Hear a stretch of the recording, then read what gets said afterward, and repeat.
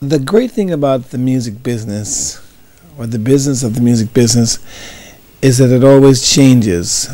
The only thing I can say um, to any of the songwriters, musicians, singers, uh, is that you know just make sure whatever you do, you give it the very best that you can, and um, magical is only in the performance that you do and by maybe something that happens overnight by some chance. But realistically, you got to put the work in to get the um, results out. I love so many different songs, and you know they used to ask uh, Duke Ellington what was his most favorite composition, and he would always say he would always say I haven't written it yet, and I think I have to say the same thing.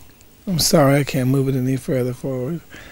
Um, I mean, I have certain days are that are isn't she lovely days. Certain days are uh, so what the fuss days. Certain days uh, are send one your love. Uh, it just varies. So I can't really say, okay, this is the song. This is the that. I honestly can't. No New Year's Day to celebrate. Cherie Amour, distant as the Milky Way. Well, you know, life itself is what uh, drives me.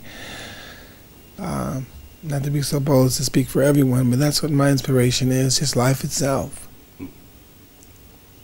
And I, I'm encouraged by just hearing new stuff. I mean, there, there's always something new out there. I mean, I listen to new music, new artists, and the artists that say they were influenced by me, I'm influenced by them, and it goes back and forth. But I think in saying that, I, I, I can't imagine, and I don't want to imagine a world without copyright protection.